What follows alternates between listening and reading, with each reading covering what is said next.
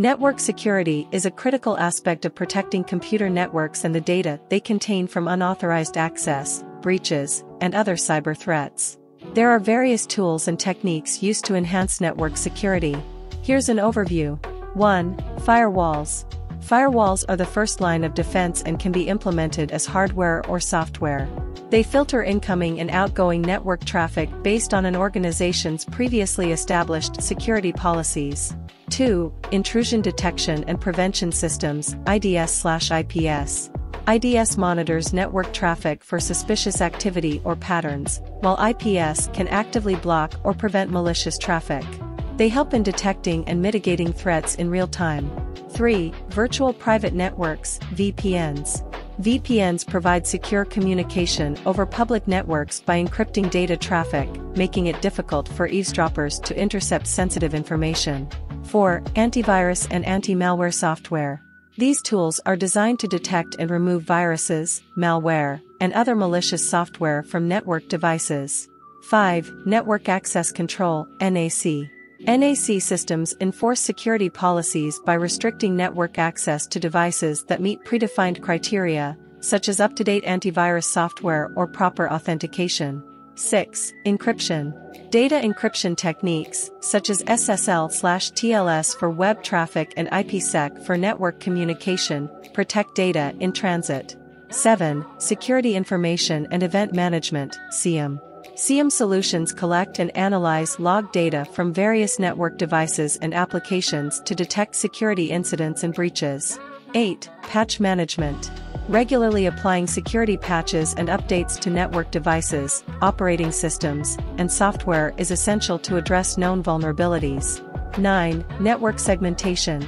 Dividing a network into segments or VLANs with strict access controls helps contain breaches and limit lateral movement for attackers.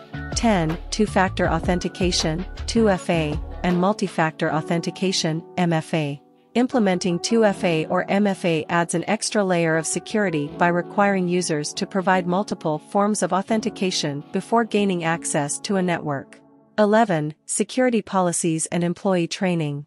Developing and enforcing security policies, as well as providing ongoing training and awareness programs for employees, can prevent security breaches caused by human error. 12. Penetration testing. Regularly testing your network security through penetration testing helps identify vulnerabilities and weaknesses before attackers can exploit them. 13. Web Application Firewalls, WAFs.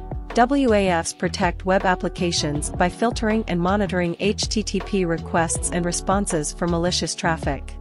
14. Network Monitoring and Logging.